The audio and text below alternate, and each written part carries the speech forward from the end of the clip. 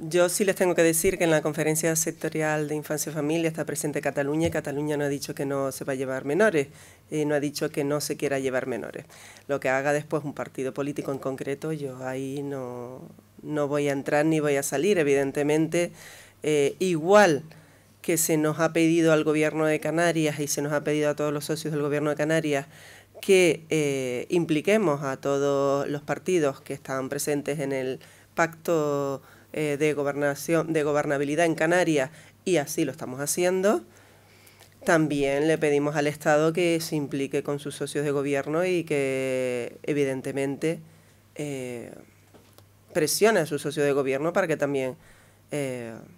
voten a favor de este, de este cambio normativo, sin excepciones. Evidentemente aquí se trata de repartir entre todas las comunidades autónomas, todas las comunidades autónomas, a los menores migrantes. Eh, y eso hasta ahora Cataluña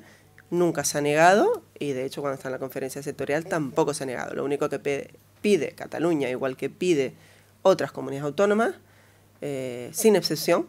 todas las comunidades autónomas sin excepción, es una estabilidad financiera, es decir, que haya suficiencia financiera para poder hacer, acometer esa acogida y que no repercuta negativamente en las cuentas de las comunidades autónomas, como está repercutiendo en Canarias,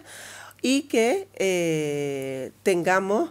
eh, la declaración de emergencia a nivel de toda España, porque si nosotros tenemos una situación de emergencia aquí en Canarias y nos ha permitido esa declaración de emergencia poder abrir los centros con mayor celeridad, eso también lo quieren el resto de comunidades autónomas, porque si tienen que pasar por el procedimiento administrativo común o por la ley de contratos, pues eso se ralentiza mucho. Entonces, esas son cuestiones que han puesto sobre la mesa todas las comunidades autónomas, con lo cual yo no creo que haya que hacer diferenciación con ninguna